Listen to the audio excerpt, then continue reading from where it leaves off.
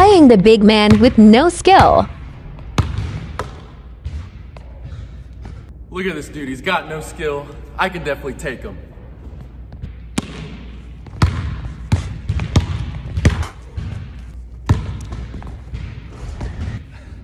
He can't shoot. I'm just gonna let him shoot.